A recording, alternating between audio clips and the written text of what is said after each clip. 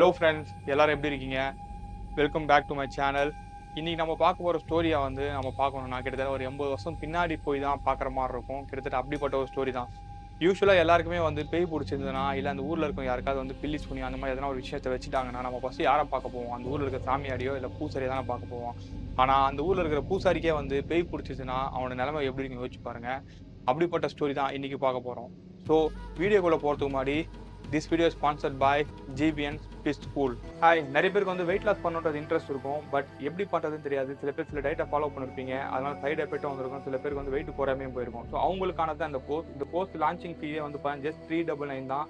First hundred அப்படின்ற கோடை நீங்கள் யூஸ் பண்ணினா உங்களுக்கு ஜஸ்ட் டூ ஹண்ட்ரட் ருபீஸ் தான் கிடைக்க போகுது. இந்த கோர்ஸ் முடிச்ச எண்டில் வந்து பார்த்தீங்கன்னா உங்களுக்கு போனஸ் கண்டென்ட்டாக வந்து கிட்டத்தட்ட ஒரு எண்பது விதமான ஒர்க் அவுட் பிளான்ஸும் உங்களுக்கு அவைலபிளாக இருக்கும். Both cutting bulking home work அவுட்ஸாக இருக்கட்டும் இல்லை தம்பிள்ஸ் வச்சு நீங்கள் பண்ணுற மாதிரியா இருக்கட்டும் இந்த மாதிரியான ஒர்க் அவுட் பிளான்ஸும் தனியாக இருக்குது அது இல்லாமல் வந்து பார்த்தீங்கன்னா கேலரி ட்ராக்கிங் பண்ணுறதுக்கும் உங்கள் ப்ராக்ரஸை ட்ராக்கிங் பண்ணுறதுக்கும் ரெண்டு டூல் செப்பரேட்டாகவும் கொடுத்துருக்கேன். அதுவும் இல்லாமல் வந்து சாம்பிள் டயட் பிளான்ஸும் இருக்குது ஸோ இதெல்லாமே என்டையராக சேர்த்தோன்னா ஒரு இருபதாயிரம் ரூபாய்க்கு மேலே வந்து பார்த்தீங்கன்னா காஸ்டிங் வரும். இது அத்தனையும் உங்களுக்கு வந்து வெறும் ஜஸ்ட் ஒரு டூ ஹண்ட்ரட்ல கிடைக்கும். அதுவும் நீங்கள் ஃபர்ஸ்ட் ஹண்ட்ரட் அப்படின்ற கூப்பன் கோடை நீங்கள் யூஸ் பண்ணினா தான். ஸோ உங்களுக்கு தேவைப்படுறவங்க வந்து மறக்காமல் இந்த கோர்ஸை வந்து ஜாயின் பண்ணிக்கிங்க. இது வந்து ப்ரொமோஷன் வேறு தேர்ட் பார்ட்டி பிராண்டுக்கு எதுக்குமே நான் ப்ரொமோஷன் பண்ணல. இது என்னோட ஓன் பிராண்ட் தான். என்னோட ஓன் கண்டென்ட்டுக்கு தான் வந்து நான் ப்ரொமோட்டும் பண்ணிட்டுருக்கேன் ஸோ தேவைப்படுறவங்க வந்து இந்த ஆப்பர்ச்சுனிட்டி வந்து யூஸ் பண்ணிங்க. இதில் இன்னொரு முக்கியமான விஷயம் என்னன்னா இந்த ஃபர்ஸ்ட் ஹண்ட்ரட் கோடை யூஸ் பண்ணி ஜாயின் பண்ணி டிரான்ஸ்ஃபர்மேஷன் ஆகிற ஃபர்ஸ்ட் ஒரு பர்சன் வந்து இருபதாயிரம் ரூபாய் வந்து கேஷ் போனஸும் இருக்குது ஸோ மறக்காமல் வந்து உங்களுக்கு தேவைப்படுதுன்னா ஜாயின் பண்ணுங்கள் ஜாயின் பண்ணி டுவெண்ட்டி தௌசண்ட் கேஷ் அவார்டையும் வின் பண்ணுங்கள் நிறைய பேருக்கு நகரின்ற ஒரு ஊர் தெரிஞ்சிருக்கும். அது பக்கத்தில் இருக்கிற ஒரு கிராமத்தில் தான் வந்து இந்த சம்பவம் நடந்திருக்கு. இந்த சம்பவம் எப்போ நடந்ததாக சொல்லப்படுதுன்னு பார்த்தீங்கன்னா ஆயிரத்தி தொள்ளாயிரத்தி நாற்பத்தஞ்சு காலகட்டத்தில் தான் இந்த சம்பவம் நடந்ததாகவும் சொல்லப்படுது. இப்போ அந்த ஊரில் வந்து ஒரு முனீஸ்வரன் கோயிலும் இருக்குது அது இல்லாமல் வந்து தர்மராஜா கோயிலும் இருக்குது தர்ம தர்மராஜா கோயிலாம் நிறைய பேருக்கு தெரியாது. உதாரணத்துக்கு சொல்ல போனால் திரௌபதி அம்மன் கோயிலும் இருந்துட்டு இருக்கு. அந்த கோயில் வந்து வருஷம் வருஷம் வந்து ஒரு பத்து நாள் திருவிழா நடக்கும். அந்த திருவிழா டைமில் வந்து பார்த்தீங்கன்னா நைட் ஆனால் அந்த கூத்து காட்டுறது இந்த மாதிரி விஷயங்கள் நிறைய பண்ணிட்டு இருப்பாங்க போல. ஸோ அந்த அம்மனுக்கு அதே மாதிரி அந்த அந்த கோயில் இருக்க சாமிக்கெல்லாம் வந்து பார்த்தீங்கன்னா தங்க நகைலாம் போட்டிருப்பாங்களாம். ஸோ யூஸ்வலாக வந்து அந்த தங்க நகை வந்து சாமிக்கிட்ட இருக்காது. அந்த திருவிழா டைமில் மட்டும் தான் அந்த தங்க நகைலாம் வந்து சாமிக்கு போடுவாங்களாம். மற்ற நாள்லாம் வந்து அந்த ஊர் தலைவர் வீட்டில் தான் வந்து அந்த தங்க நகை எல்லாமே இருக்கும் போல.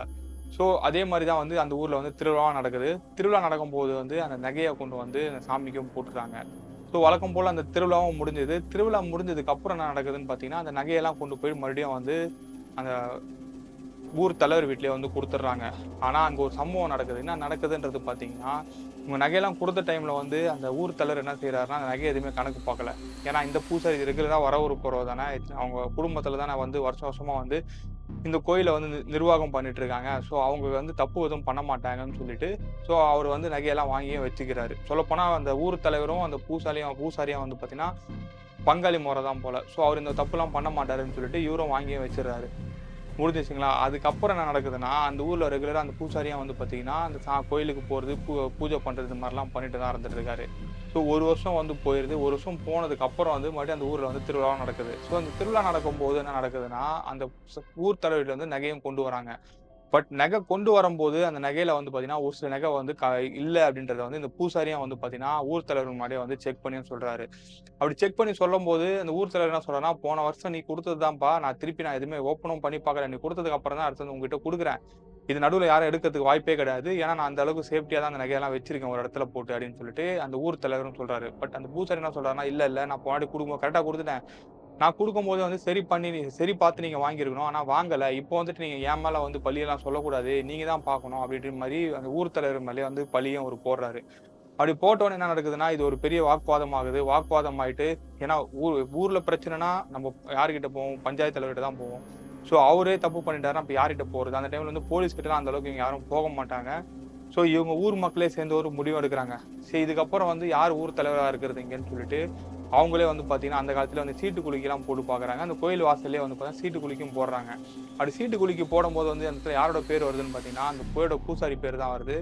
ஸோ அவரே வந்து பார்த்தீங்கன்னா சாமியை தேர்ந்தெடுத்தாங்க. இவர் தான்றது இவர் தப்பு பண்ணலன்றது நிரூபணம் ஆயிடுச்சு இவர் தான் ஊர் தலைவர் தான் தப்பு பண்ணியிருக்காருன்னு சொல்லிட்டு அந்த ஊரில் இருக்கிற என்ன பண்ணுறாங்கன்னா ஊர் தலைவரை போட்டு கண்ட மேனிக்கு வந்து திட்டவும் செய்கிறாங்க இதுக்கப்புறம் வந்து ஊர் தலைவர் அந்த பூசாரி தான் இருக்க போகிறாரு இந்த பூசாரிக்கு அடுத்தது வந்து யார் இந்த கோயிலுக்கு பூசாரியாக இருக்க போகிறான்னு சொல்லிட்டு பூசாரியாக வந்து பார்த்தீங்கன்னா முடிவும் பண்ணுறாரு அதுக்கப்புறம் என்ன நடக்குதுன்னா அந்த ஊர் தலைவரும் வந்து பார்த்தீங்கன்னா அவங்க வீட்டுக்கும் போயிடுறாரு. அந்த வீட்டுக்கு போன மறுநாள் வந்துட்டு எல்லாருமே வந்து பார்த்தீங்கன்னா அந்த ஊர் தலைவர் வீட்டு வாசலில் போய் நிற்கிறாங்க எதுக்குன்னா ஒரு சில விஷயங்கள்லாம் வந்து அந்த ஊர் தலைவர் வந்து பூசாரி வந்து க- சொல்லி கை மாற்றி விடணும். இந்த ஹேண்டிங் ஓவர் ப்ராசஸ்னு வச்சுங்களேன் அந்த மாதிரியான ப்ராசஸ் ஸோ இங்கே எல்லாருமே ஊர் தலைவர் வீட்டு வாசலில் போயிட்டு முக்கியமானவங்க அந்த பால் கறக்கிறவங்க அதே மாதிரி வந்து இந்த சொசைட்டில இருக்க சின்ன சின்ன சொசைட்டிலாம் இருக்கும் அதில் இருக்கிறவங்க வேலை செய்கிறவங்களாம் வந்து இந்த ஊர் தலைவர் வாசலில் போய் நிற்கிறாங்க அப்படி நிற்கும் போது என்ன ஆகுதுன்னு பார்த்தீங்கன்னா அந்த வீட்டிலேருந்து யாருமே வெளிலையும் வரல. ஆனால் யாரும் வெளியே வரலன்னு சொல்லி கதவு தடி தடி பார்க்குறாங்க. யாரும் கதவும் திறக்கல. அதுக்கப்புறம் என்ன பண்ணுறாங்கன்னா அந்த ஊரில் இருக்கிறவங்க எல்லாமே சேர்ந்து அந்த கதவையும் உடைக்கிறாங்க. உடச்சி உள்ளே போய் பார்த்தா ஊர் தலைவர் ஊர் தலைவர் மனைவி அப்புறம் வந்து ஊர் தலைவர் கூட அவங்களுக்கு பிறந்த ரெண்டு பசங்களும் வந்து பார்த்தீங்கன்னா படுத்த படு பெட்லேயே வந்து பார்த்தீங்கன்னா இறந்து போயா இருக்கிறாங்க. ஸோ அந்த ஊரில் இருக்க ஒரு வைத்தியரையும் ஒரு ஒரு டாக்டரையும் வந்து கூப்பிட்டு வந்து செக் பண்ணுறாங்க அப்படி செக் பண்ணி பார்க்கும்போது தான் தெரியுது இவங்க எல்லாருமே வந்து பார்த்தீங்கன்னா விஷம் சாப்பிட்டு இறந்து போயிருக்காங்கன்ட்டு. ஸோ அதுக்கப்புறம் என்ன நடக்குதுன்னா வழக்கம் போல் வந்து சரி பங்காளி வேறு அவங்களுக்கு சொந்தக்காரங்கிறது யாருமே கிடையாது அந்த அளவுக்கு. பங்காளி முறையில் இருக்கிறவங்க தான் கொல்லி வைக்கணும். அப்படி பார்த்தா யார் இந்த பூசாரி இப்போது கரண்ட்டாக தலைவராக இருக்கிற இவர் தான் வந்து கொல்லியும் வைக்கணும். ஸோ எல்லாரும் என்ன செய்கிறாங்கன்னா இவர்கிட்டயே வந்து பார்த்தீங்கன்னா பொறுப்பையும் கொடுக்குறாங்க. இவரும் வந்து நாலு பேரும் வந்து நல்ல நல்ல விதம் நல்ல விதமாக வந்து அடக்கமும் பண்ணுறாங்க அந்த ஊரில் இருக்கும் சுற்றி என்ன பேசிக்கிறாங்கன்னா இவங்க திருடு பண்ணிட்டாங்க திருடிட்டாங்க. அந்த மன வருத்தத்தினால தான் அந்த அவமானம் தாங்க முடியாமல் வந்து தற்கொலை பண்ணிக்கிட்டாங்க அப்படின்ற மாதிரி தான் அந்த ஊர் ஃபுல்லாக வந்து பரவிட்டும் இருக்குது. ஸோ இப்படியே போச்சு ஒரு ரெண்டு மூணு நாள் கழிச்சு என்ன ஆகுதுன்னா ஆக்சுவலாக திருவிழா நடக்கணும் திருவிழா நடக்கலை. ஏன்னா அதுக்கு முன்னாடியே வந்து பார்த்தீங்கன்னா இவர் இறந்தும் போயிடுறாரு. ஸோ இறந்து போனதுனால வந்து இந்த திருவிழாவும் நடக்க முடியாம நடக்க முடியாமல் வந்து நின்றும் போயிடுது அப்படி நின்று போனதுனால என்ன ஆகுதுன்னா அந்த ஊர் மக்கள் வந்து இதனால வந்து இந்த ஊருக்கு எதனா கெட்டது நடக்கும் வாய்ப்பு இருக்குது. இதுக்கு வேறு எதனா நம்ம முடிவு எடுக்கணும். இப்போ மறுபடியும் வந்து நல்ல நாள் பாருங்கள் அந்த நாளில் வந்து நம்ம திருவிழா மறுபடியும் ஆரம்பிக்கலாம் அப்படின்னு சொல்லிட்டு இவங்களுக்குள்ளேயே வந்து பேசிட்டு இருக்கிறாங்க. ஸோ அன்றைக்கி நைட் வழக்கம் போல எல்லாருமே வந்து பார்த்தீங்கன்னா தூங்கவும் போயிடுறாங்க. பட் அன்றைக்கி தூங்கின நைட்டு கரெக்டாக வந்து ஒரு பன்னெண்டரை ஒரு மணி டைமில் வந்து அந்த ஊரே வந்து பார்த்தீங்கன்னா அலற மாதிரி ஒரு சவுண்டும் கேட்குது யாரோ ஒருத்தவங்க வந்து எனக்கு துரோகம் பண்ணிட்டாங்க என்னை ஏமாத்திட்டாங்க என் மேலே வீண் பழியை போட்டுட்டாங்க இந்த தப்பை பண்ணவங்க யாருமே நல்லாவே இருக்க மாட்டாங்க என் மேலே வீண் பழி போட்டவங்க யாருமே நல்லாவே இருக்க மாட்டாங்க அப்படின்ற மாதிரி ஒரு சவுண்ட் அந்த ஊருக்குள்ள கேட்குது எல்லாருமே வந்து உன்னிச்சு கவனிக்கிறாங்க அந்த ஊருக்குள்ளே கேட்குற சவுண்ட் வேறு யாருமே கிடையாது. இறந்து போன ஊர் தலைவரோட குரல் தான் வந்து அந்த ஊர்லேயும் கேட்டும் இருக்குது ஸோ இன்னைக்கு நைட் எதுவுமே நம்ம பேசணும்னா மறுநாள் காலையில் வந்து ஊர் தலைவர்கிட்ட போய் பேசுவோம் அப்படின்னு சொல்லிட்டு மறுநாள் காலையில் அந்த பூசாரி அந்த ஊர் தலைவர்கிட்ட போய் நடந்த விஷயம் எல்லாத்தையுமே சொல்கிறாங்க அப்போ அந்த பூசாரி என்ன பண்ணுறாருன்னா இது அவங்க ஆத்மா வந்து பார்த்தீங்கன்னா சரியாக வந்து சாந்தி அடையல. அந்த பதினாறு நாள் காரியம் முடிக்க வரைக்கும் கொஞ்சம் ஆக்ரோஷமாக தான் இருக்கும். ஸோ அந்த காரியம்லாம் நல்லபடியாக முடிஞ்சிருச்சுன்னா நம்ம அந்த மாதிரியான பிரச்சனைகள்லாம் இருக்காது. கொஞ்சம் பொறுத்துக்குங்க அப்படின்ற மாதிரி தான் அந்த பூசாரியும் சொல்கிறாரு அந்த பூசாரியும் சரி அவங்க சொ- பூசாரியே சொல்கிறாரு அப்படின்னு சொல்லிட்டு அந்த ஊர் மக்களும் வந்து அதை பெருசாகவும் எடுத்துக்கல. ஆனால் நாளுக்கு நாள் வந்து பார்த்தீங்கன்னா அந்த பிரச்சனை அதிகமாகிட்டு தான் போகுது. டெய்லி வந்து பார்த்தீங்கன்னா கதவை யாரோ வந்து தட்டுற மாதிரியும் வீட்டு வாசலில் உட்காந்து அழுகிற மாதிரியும் அந்த மாதிரி சவுண்ட்லாம் அந்த ஊரில் இருக்கிறவங்க எல்லாருக்குமே கேட்டு இருக்கு. ஒரு லெவல் மேலே வந்து மறு எல்லாருமே போய் பூசாரிட்டையும் கேட்குறாங்க இதுக்கு வேறு எதனா வழி இருந்தால் பாருங்கள் வெளியூர்லேருந்து யாராவது வந்து போடாங்க இல்லை வேறு யாராவது சாமியார் யாராவது வரவைங்க அப்படின்ற மாதிரி அந்த ஊரில் இருக்கிறவங்க எல்லாருமே வந்து பார்த்தீங்கன்னா பூசாரியை வந்து போஸ்ட் பண்ணவும் செய்கிறாங்க அப்போ அந்த பூசாரி என்ன சொல்கிறாருன்னா ஒன்றும் பிரச்சனை இல்லை. நான் பக்கத்து ஊரில் இருக்கிற ஒரு போடாங்கியை நான் கூப்பிட்டு வரேன். அவங்களை கூப்பிட்டு வந்தால் இதுக்கு என்ன பண்ணணும்? என்ன பரிகாரம் பண்ணணுன்றத அவர் சொல்லுவார். அதை பேஸ் பண்ணி நம்ம பண்ணிடலாம். ஏன்னா இப்போ என்னால் எதுவும் பண்ண முடியாது. ஏன்னா நான் தான் கொல்லி வச்சிருக்கேன். அப்படின்ற மாதிரி இந்த பூசாரியும் சொல்லிடுறாரு. அப்படி வெளியூருக்கு போன அந்த பூசாரி வந்து திரும்பி சாயங்காலத்துக்குள்ளே ஊருக்குள்ளே வந்துட்டாரான்னு பார்த்தீங்கன்னா ஊருக்குள்ளே வரவே இல்லை. இல்லை ஊருக்குள்ளே வரலன்னு சொல்லிட்டு அந்த ஊரில் இருக்கிற நிறைய பேர் வந்து தேடவும் ஆரம்பிக்கிறாங்க. குறிப்பாக அந்த பூசாரி வீட்டில் இருக்கிறவங்க தேடவும் ஆரம்பிக்கிறாங்க. இதில் முக்கியமான விஷயம் என்னென்னா இவங்க கொல்லி வச்சவங்க வந்து பதினாறு நாளைக்கு வந்து ஊரை விட்டு வெளியிலையும் போகக்கூடாது வெளியில் போகக்கூடாதுன்னா அந்த ஆறு மணிக்குள்ளே வந்து ஊருக்குள்ளே வந்துடணும். ஆனால் ஆறு மணி மேலே ஏன் அவர் ஊருக்குள்ளேயும் வரல? ஸோ எதனால் வரல? எங்கே போனாருன்னு தெரியலன்னு சொல்லிட்டு இவங்க எல்லாருமே வந்து அந்த பூசாரியை வந்து தேடவும் ஆரம்பிக்கிறாங்க. அந்த பூசாரி கிட்ட வந்து அந்த காலத்திலே வந்து பார்த்தீங்கன்னா ஒரு சின்னதாக ஒரு பிரிட்டிஷ்காரங்க யூஸ் பண்ற மாதிரி ஒரு வண்டியும் அந்த பூசாரி கிட்ட இருந்திருக்கு. ஏன்னா அந்த ஊர்ல வந்து இவங்க கொஞ்சம் பெரிய ஃபேமிலின்றதுனால இவங்களுக்குள்ள வச்சிருந்திருக்காங்க. ஸோ அந்த வண்டி தான் எடுத்துட்டு போனாரு. பட் திரும்பி வரலையே அப்படின்னு சொல்லிட்டு அந்த ஊர்ல இருக்கிற நாலஞ்சு பேர் வந்து என்ன செய்யறாங்கன்னா அவரை தேடியும் போறாங்க. அப்படி தேடி போகும்போது வந்து போற வழியிலே வந்து ஒரு இடத்துல வந்து ஒத்தடி பாதை மாதிரி இருக்கு. அந்த ஒத்தடி பாதையிலே வந்து வண்டி கீழே விழுந்து கிடக்கு. கீழே விழுந்து கிடந்து சரி இங்கதான் எங்கன்னா இருப்பாரு அப்படின்னு சொல்லிட்டு பக்கத்துல இருக்க தேடி பாக்குறாங்க. அப்படி தேடி பார்க்கும்போது ஒரு இடத்துல வந்து பூசாரி மயக்கம் போட்டு கீழே விழுந்துருக்காரு ஸோ வண்டி வர வர வழியில வந்து மாடு எதனா வந்துட்டு இருக்கோம் இடிச்சு கீழே விழுந்திருக்கலாம்னு சொல்லிட்டு பூசாரியை வந்து மறுபடியும் ஊருக்குள்ளேயும் கூட்டிட்டு வந்துடுறாங்க. கூட்டி வந்து என்ன பண்றாங்கன்னா வைத்தியரை கூப்பிட்டு அவருக்கு என்ன ஆச்சு ஏதாச்சும் பாருங்கன்னு சொல்றாங்க. வைத்தியரும் வந்து பார்த்தீங்கன்னா செக் பண்ணி பார்த்துட்டு ஒரு நல்லா தான் இருக்காரு இவருக்கு எந்த ஒரு பிரச்சனையும் இல்லை அப்படின்னு சொல்லிட்டு மருந்தெல்லாம் கொடுத்துட்டு அந்த பூசாரி அந்த வைத்தியரும் வந்து அங்கேருந்து கிளம்பியும் போயிடுறாரு. கரெக்டாக அன்னைக்கு நைட் அதே மாதிரி பன்னெண்டரை மணிக்கு என்ன நடக்குதுன்னு பார்த்தீங்கன்னா அந்த பூசாரி படுத்துட்டு இருந்தவர் அலறடிச்சு வீட்டு விட்டு எழுந்து வெளியில ஓடுறாரு. வெளியில ஓடி போய் என்ன சொல்றாங்கன்னா நான் நகையை திருடல நான் நகையை திருடல என் மேல வீண் பழிய போட்டாங்க என் மேல வீண் பழிய போட்டாங்க என் மேல பழி போட்டவங்க யாருமே வந்து நல்லாவே இருக்க மாட்டாங்க அப்படின்ற மாதிரி அந்த ஊருக்குள்ளேயே வந்து கத்திட்டு சுத்துறாரு. இதை கேட்ட உடனே எல்லாரும் என்ன பண்றாங்கன்னா இது பூசாரி குரல் மாதிரி இருக்கே நம்ம புது தலைவர் குரல் மாதிரி இருக்கேன்னு சொல்லிட்டு எல்லாரும் வெளியில வந்து பாக்குறாங்க. வெளியில வந்து பார்த்தா அதே பூசாரி தான் அதே ஊர் தலைவர் தான் அந்த ரோட்லயும் ஓடிட்டு இருக்காரு. உடம்புல வந்து ஒத்து துணி இல்லாம. அந்த ஊர்ல இருக்க சின்ன பசங்க சின்ன பசங்கன்னா இருபது வயசு அந்த மாதிரி இருக்க இளைஞர்கள்லாம் என்ன செய்யறாங்கன்னா அந்த பூச்சரை போய் தடுக்கிறாங்க. தடுத்து அவர் உடம்புல வந்து துணியும் போத்தி விடுறாங்க. ஆனா அவர் துணியெல்லாம் எடுத்து போட்டு அந்த ஊருக்கு வெளியில இருக்க காடு பகுதியை நோக்கி தான் வேகமாவும் ஓடுறாரு.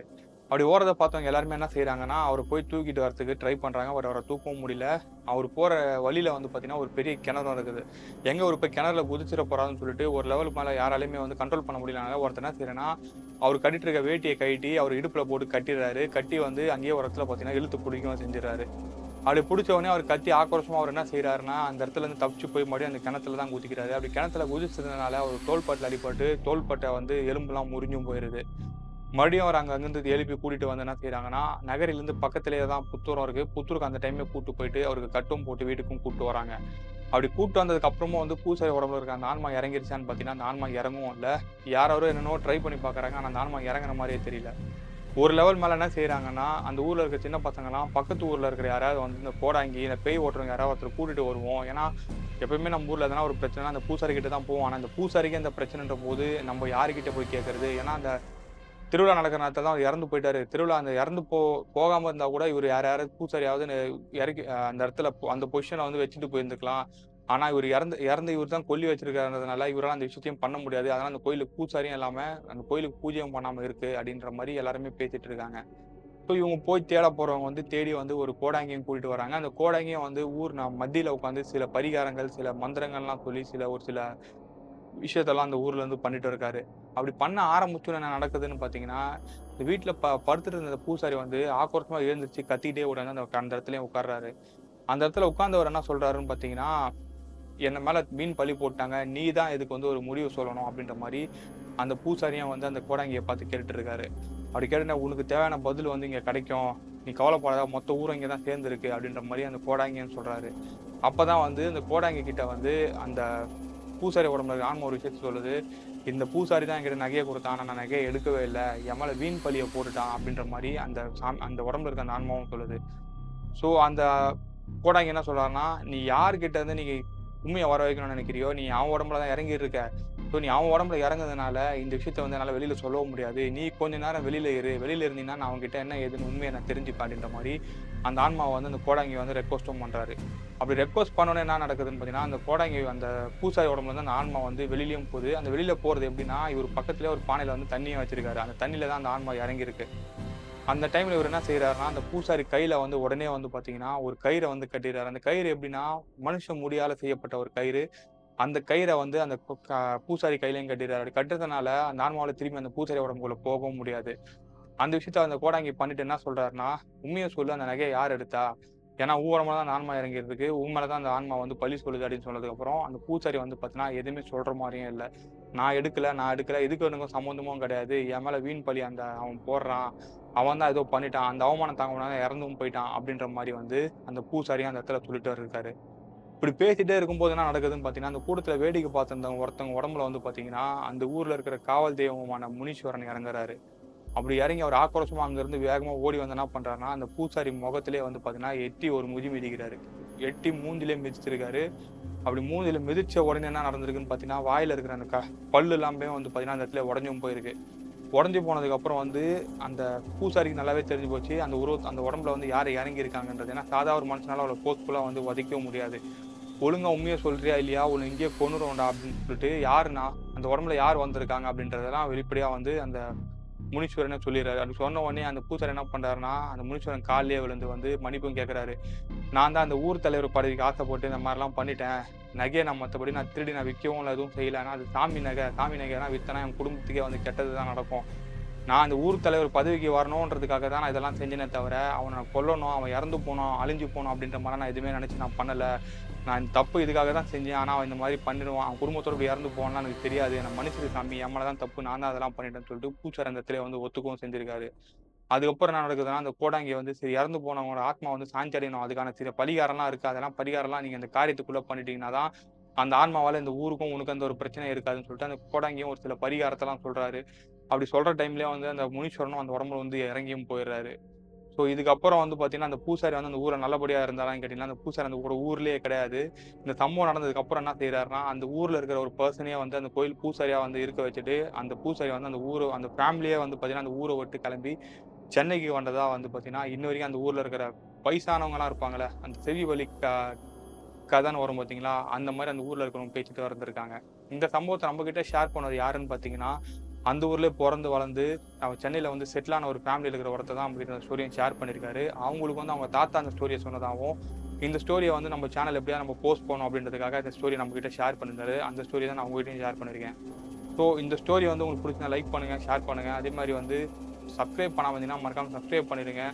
ஏன்னா நிறைய பேர் வீடியோ பார்க்குறீங்க ஆனால் யாரும் சப்ஸ்கிரைப் பண்ணுறதில்ல மறக்காமல் சப்ஸ்கிரைப் பண்ணிட்டாங்க தான் இந்த சேனல் வந்து இன்னும் க்ரோத் ஆகும். நானும் நிறைய வீடியோஸ் போகிறதுக்கு எனக்கும் கொஞ்சம் இன்ட்ரெஸ்ட்டாக இருக்கும். ஸோ நெக்ஸ்ட் ஒரு இன்ட்ரெஸ்டிங்கான வீடியோவில் பார்ப்போம். வரைக்கும் பாய்